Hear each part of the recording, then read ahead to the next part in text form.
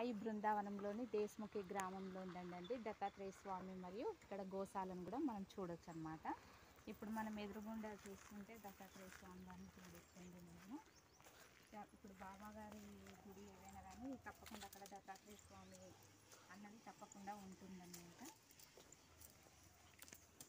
చూసారుగా చుట్టూ ఆవులు చాలా పీస్ఫుల్గా ఇక్కడ ఒక తాబేలు. అంటే ఇది ఒక బావి అండి. కానీ దీని ఆకారం మాత్రం తాబేలు లాగా ఉంది కన్స్ట్రక్షన్. ఇందులో వాటర్ ఉన్నాయన్నమాట లోపల.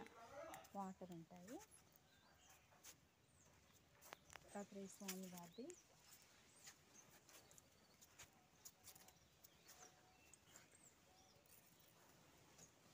ఇక్కడ నుంచి కొంచెం ముందుకెళ్తే మనం గోశాల కూడా చూడొచ్చండి. అక్కడ ఆవులు ఉంటాయన్నమాట. ఇది గుడికి సంబంధించినవి.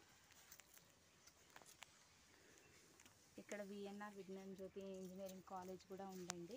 మీకు కరెక్ట్ అడ్రస్ తెలియాలంటే కూడాను తప్పకుండా వచ్చి మీరు ఇక్కడ ఈ టెంపుల్ని ఒకసారి దర్శించుకోండి.